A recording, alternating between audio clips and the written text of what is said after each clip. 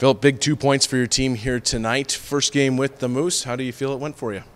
Uh, yeah, great game. I think uh, guys played well in, in front of me, and uh, we knew it was going to be a good challenge. Uh, I think they were like five and one, so uh, we knew they had a good team, and guys uh, came out strong and uh, three three zero lead after the first, so that was huge, and we kept kept pushing, and great game overall.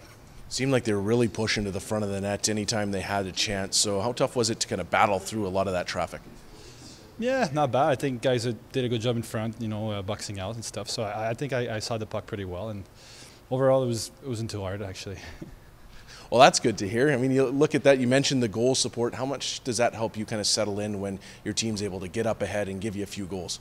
Yeah, huge. Um, I, I am just trying to do my job. You know, keep keep the the team in the in the game and go one shot at a time. And uh, I feel pretty good about my game. It's it's good to be back after like almost two years without playing in the AHL. So uh, it's a huge win, and I'm really happy.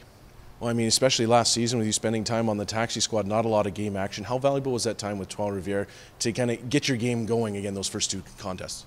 Uh, yeah, uh, like you said, you know, when you, you spend a year without playing, uh, it's hard. You know, you almost lose it. You, are like nervous, but um, felt good in Trois Rivières. Played well. You know, had a, a shutout and uh, helped for my confidence. And uh, also last year with Florida, um, work with the NHL guys all year, so I'm, I'm sure it helped me a lot. So uh, I feel good.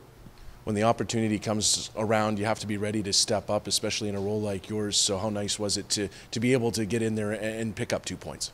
Yeah, huge. Um, I know that the, the, coach trusts me, and uh, I mean I, I, feel pretty good. So. Uh, I'm always happy to to to play uh, here in the AHL, and uh, if they call me again, i will be ready.